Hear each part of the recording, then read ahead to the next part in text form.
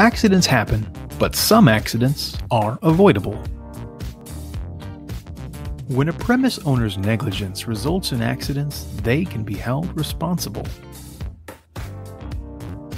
Property owners, property managers, even municipalities can be held responsible for not identifying safety hazards through routine inspections and maintenance.